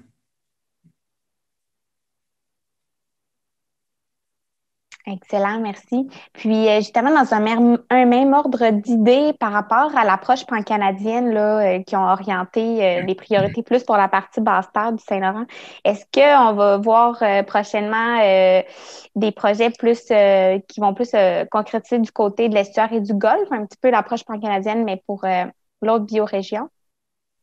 Ça me surprendrait. Ça me surprend... Ben, parce que ça, c'est une décision, euh, c'est une décision euh, nationale où on a décidé de, concentrer les ressources financières euh, dans où il y avait une concentration importante d'espèces en péril. Donc, c'est les bassins du Saint-Laurent. Dans l'estuaire et le golfe, le hotspot, l'espèce en péril, c'est les îles de la Madeleine. Puis, eux bénéficient d'un soutien d'Environnement Canada pour quatre ans dans le cadre d'un autre programme qui s'appelle les lieux prioritaires désignés par les communautés. Donc, en plus des basses terres, qui est la place prioritaire sur laquelle moi je travaille. Il y a deux autres régions au Québec qui bénéficient d'un bon financement pour les espèces en péril. Il y a les îles de la Madeleine, puis il y a la région des montagnes vertes dans, le coin d'Anestrie, au corridor de Palachine, travaille avec une vingtaine d'organisations. C'est une des décisions de concentrer les efforts, mais avec le plan d'action Saint-Laurent, il y a du financement qui vient aussi qui peut, nous permettre d'aller travailler dans l'Est du Québec. Puis déjà l'année dernière, suite à la publication de la classe Estuaire Golf, on a déjà donné des, euh, des mandats des groupes pour travailler sur les portraits d'espèces envahissantes, par exemple, ou puis la, conservation volontaire dans l'Est du Québec. Excellent, merci. D'autres questions?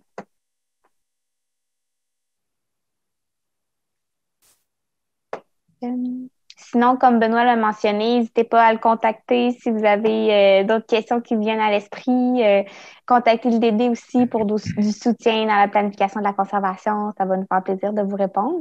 Euh, je vais laisser la parole à Raphaël pour conclure sur ce, webinaire. Benoît, Il y avait une question qui demandait ah. si les bernaches et les canards arrivent plus tôt cette année. Ben, oui, à ma connaissance, quand, quand les, champs du sud du Québec sont encore enneigés, ben, les oies vont rester là puis ils ne monteront pas euh, rapidement. Mais là, il n'y a pas de neige dans le sud du Québec, puis ça se pourrait bien que les oies et l'hivernage arrivent, arrivent, un peu plus tôt.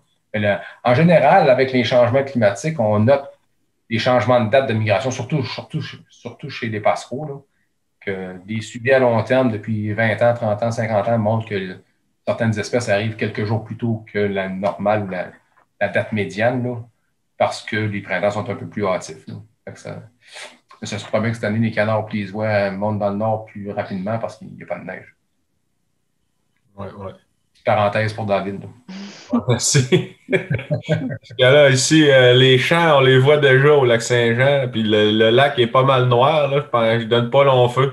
Ça va caler assez vite. Là, pour, je ne sais pas si on va battre un record. Le record, c'est le 14 avril qui a calé. Puis là, euh, on est le 25 mars. puis c'est ça. Puis cet hiver, il n'y avait pas beaucoup de neige. De, de, glace, habituellement, il y a à peu près trois pieds de glace. Là. Cet hiver, il y a peut-être 20 euh, pouces, 18 pouces. Fait que c'est ça.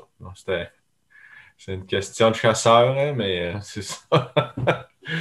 mais j'aime ça regarder les oiseaux aussi. C'est pour ça que c'est le fun de se lever de bonne heure. Mais là, avec le couvre-feu, j'ai hâte de voir ce que ça va faire pour nous autres. Ouais. Merci beaucoup.